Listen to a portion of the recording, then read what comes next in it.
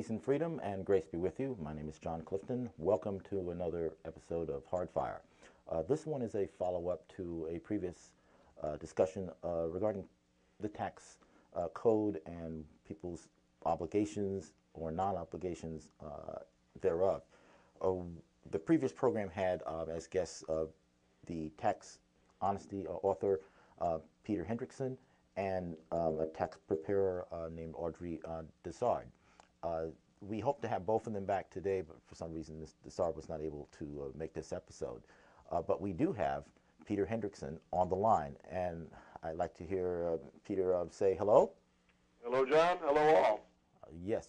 I'm glad you're with us. Um, and the topic today um, was going to be at least an overview of the issue of wages versus income in the um, as construed by various people in the tax um, on the tax issue.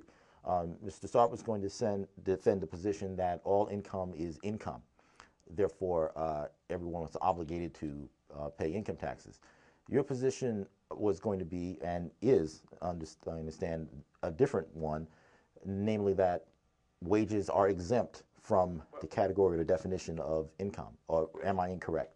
Let me, let me clarify that, John. it's important to draw a distinction between the legal term wages, which is a custom-defined term within the uh, revenue law, mm-hmm. and wages, as people tend to think of that word, uh, meaning uh, earnings for work.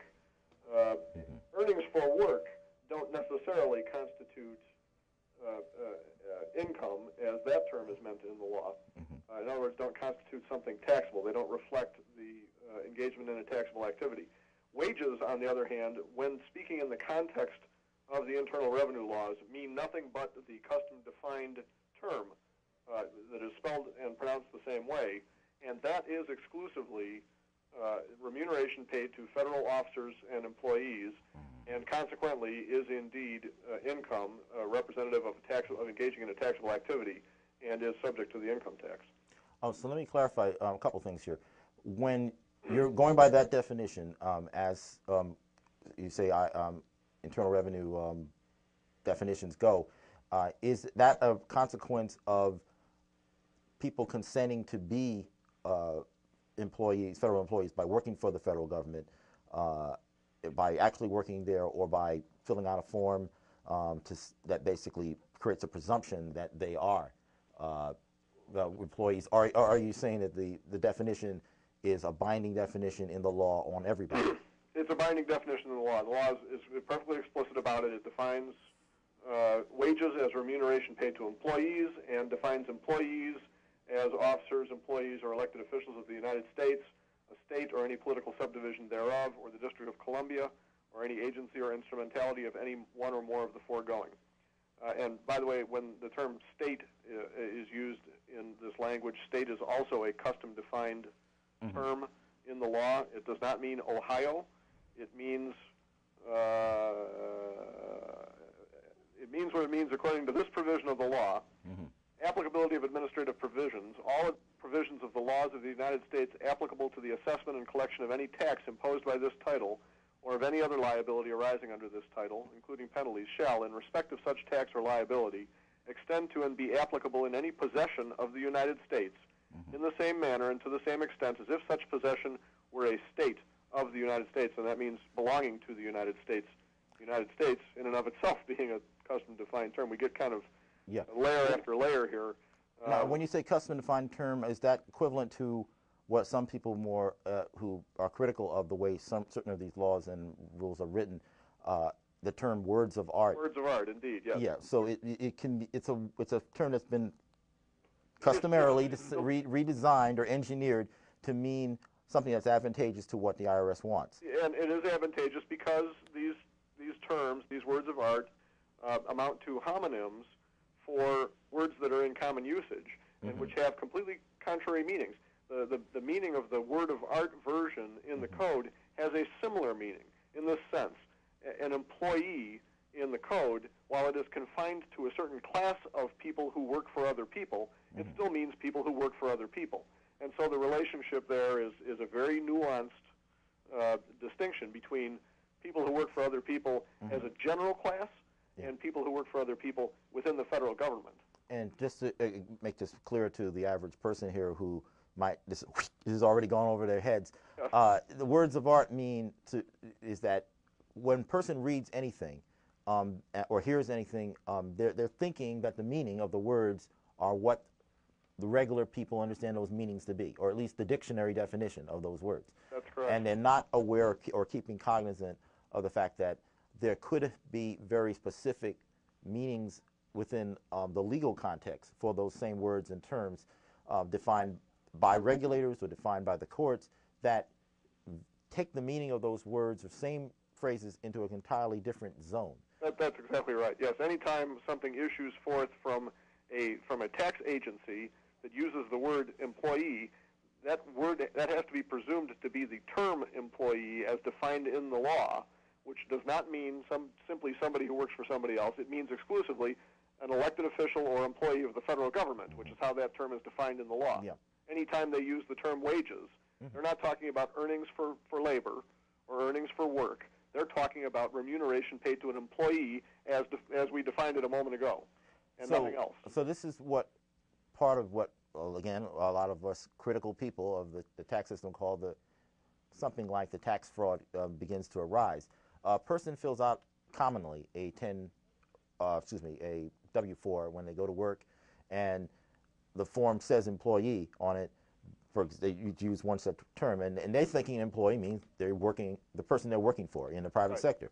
Whereas, in terms of what's legally binding, that's embodied in that term is you're agreeing that you are an employee of the federal government. Uh, That's exactly correct. Those forms are only intended to be filled out by that certain class of, of, of worker, that uh, a, a federal employee. And the law is very clear about this. The, the, the amazing thing is that, that, that while you, you, make reference to, to a fraud, and it is very nearly a constructive fraud at least, in that, that it is widely known, widely understood, that most people have no idea of these these distinctions and these nuances, and and the beneficiaries of the tax system make no effort to to uh, to clue them in, none whatsoever. They in fact they bend over backwards to not clue them in, and this is demonstrated by the fact that, for instance, the definitions that uh, of these terms are never included with documents that are sent to uh, companies across America instructing them to do this and that regarding their employees or to do this and that regarding wages that they paid. When, when a, a company receives a, a, a notice of that sort, it doesn't say, oh, by the way, the wages we're talking about are defined as this. They never say that. They rely on, on a, a, a legal uh, principle, which is that the, the, the party responding to a legal requirement is expected to know the limits of that requirement or to seek them out. It, it, is, it is incumbent upon them. It's their responsibility to know the legal limits of the, of the thing that they're dealing with. And so they can sit back and say, well, we didn't exactly lie to them. I mean, we didn't command them to do this in regard to their workers. We only told them to do it in regard to their employees. And they're supposed to know that when we're talking employee, we mean federal officers and employees. Now, of course, this would never be tolerated if the private sector uh, misled No, no, constructively. absolutely not. absolutely, it's, it's kind of like uh, what happened to uh, to uh, Ponzi as compared to what happens in the Social Security system, the way Yeah. it, it tends to be administered.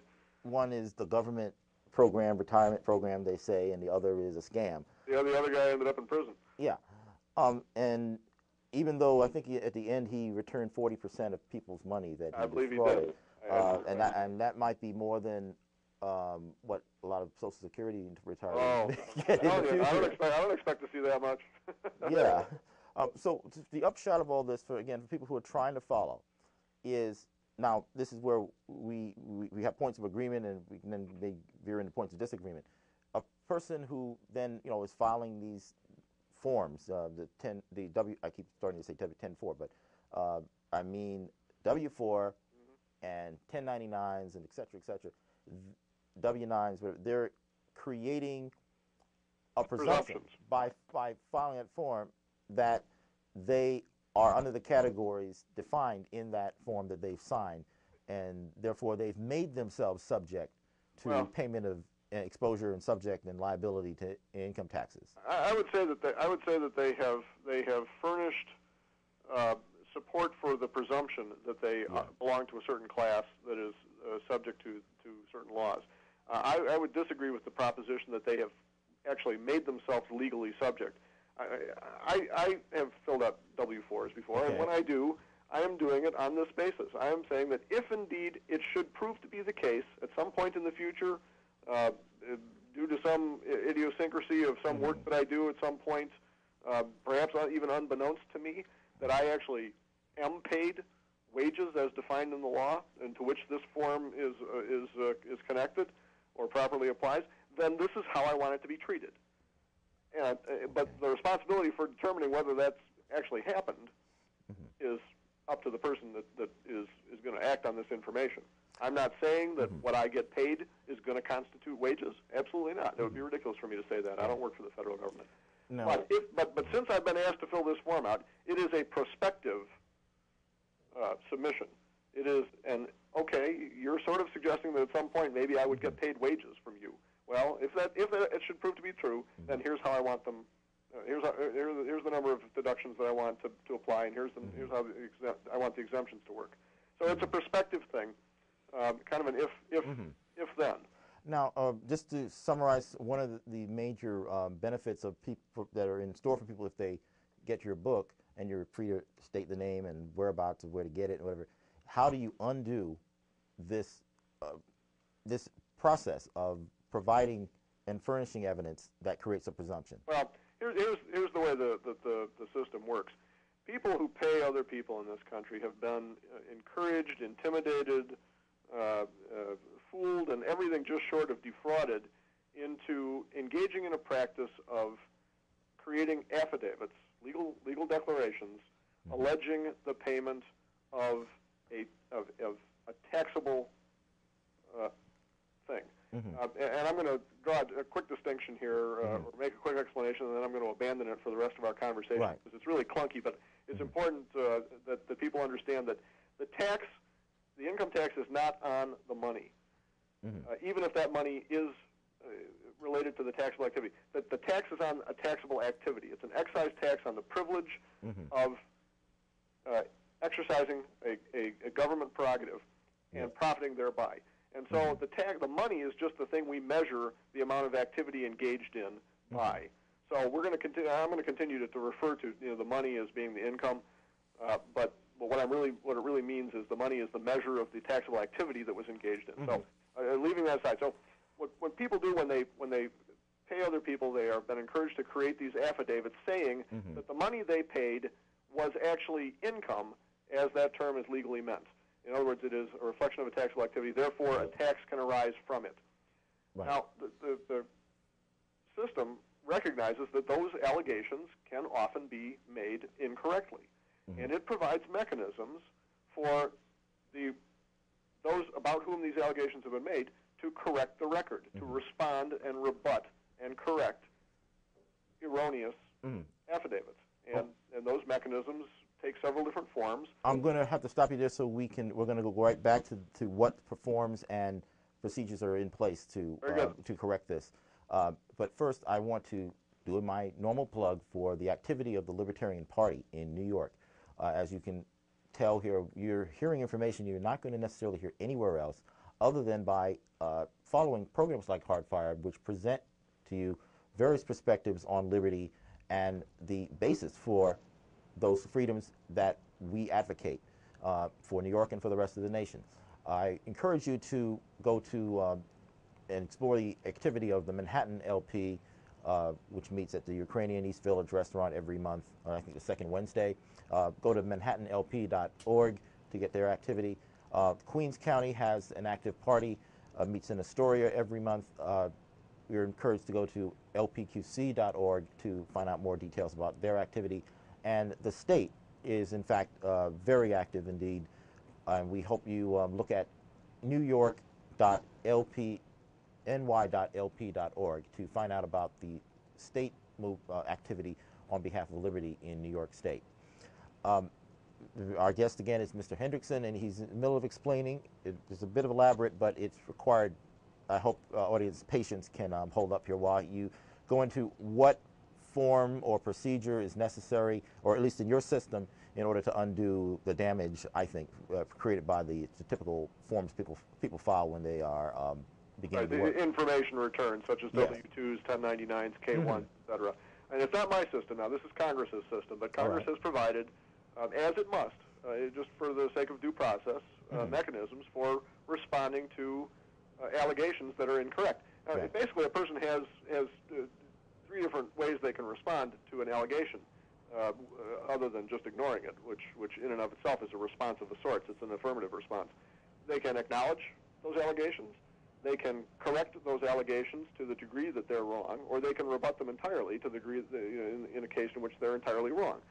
Uh, when a, a, an information return like a W-2 or a 1099 is produced, it says two things. It says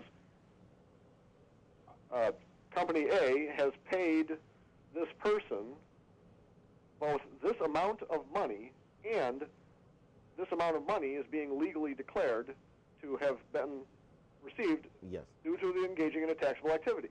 In other words, it is income. Uh, one or two, one or both of those things can be right. One or both of those things can be wrong. Uh, and so, the, the Congress has provided mechanisms for responding to those allegations. There's a reason, in fact, this is the reason why people are sent a copy of these forms. And, Yeah. and, and it is not just to, to let them know uh, what, what numbers to put on their tax return.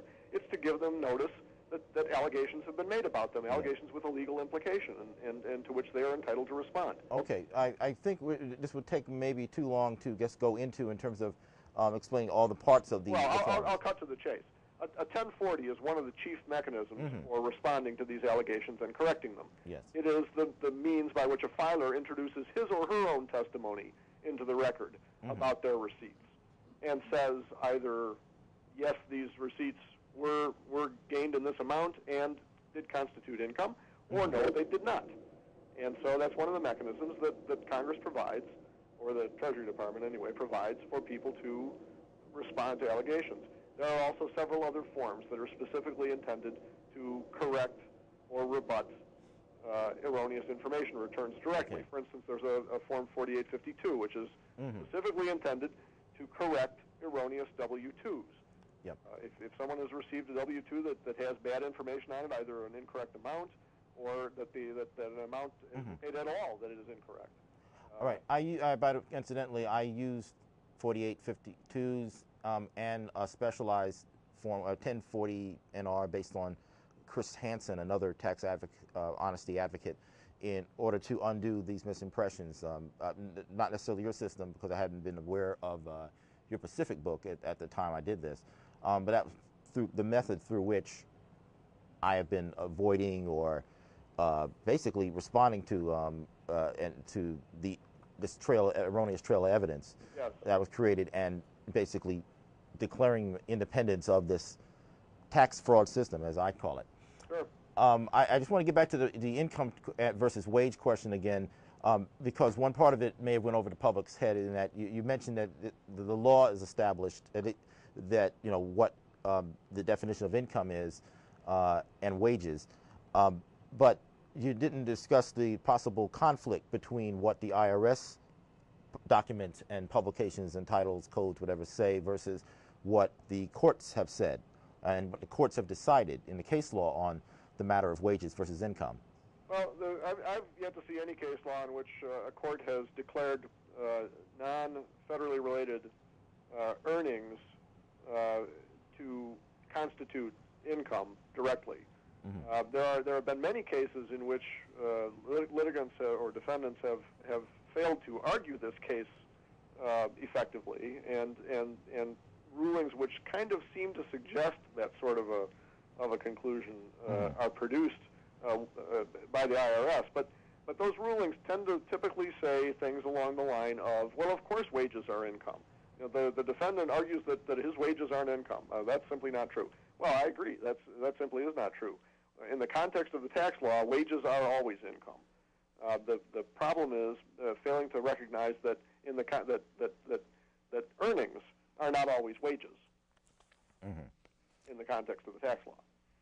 Okay, well, that gets a little more hairy a distinction. Uh, let me just read you the language of some uh, key sentences from some Supreme Court decisions, like uh, Clark versus U.S. Uh, quote, of course, gross income and not gross receipts is the foundation of income tax liability. For, for it is only earnings, profits, and gains which the statute subjects to tax, unquote. Uh, or another uh, decision, Edwards versus uh, De- Deeth. The statute and the statute alone determines what is income to be taxed. It taxes only income derived from many different specified sources. One does not derive income by rendering services and charging for them, which I believe a phrase would cover um, off versions of labor and working out of one Sure. labor and, personal and effort. If I can throw one in, uh, United States Supreme Court, South Pacific v. Lowe. Yeah. We must reject the broad contention submitted on behalf of the government that all receipts, everything that comes in, are Mm-hmm. income. Right. Um, basically, I think the IRS wants receipts to be interpreted as income, and Sure. these decisions say no. Receipts, um, that is those yeah. the- of, of the proof of that people have worked and had per, made personal efforts and made uh, gotten a commission or whatever, uh, is not the same thing as a profit. Like if you put up thousand dollars in a stock and the stock grows hundred dollars in value, you've earned hundred dollars in income.